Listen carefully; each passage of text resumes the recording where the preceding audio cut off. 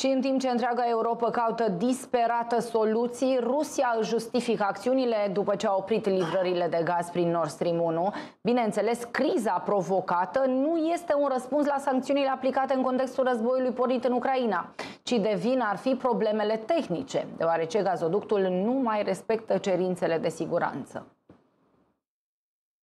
Așa și-a justificat Moscova acțiunile după ce gigantul rus al gazelor Gazprom și-a oprit livrările prin Nord Stream 1 către Germania pentru o perioadă nedeterminată. Nu ar fi prima oară când Rusia se folosește de resursele sale energetice să pună Europa într-o situație dificilă, însă de data aceasta reprezentanții companiei rusești nu parcă își vor revizui decizia prea curând. Vineri Gazprom a declarat că a detectat o scurgere de petrol la singura turbină care încă mai funcționa la Portovaia și că va întrerupe alimentarea cu gaze naturale până când aceasta va fi reparată.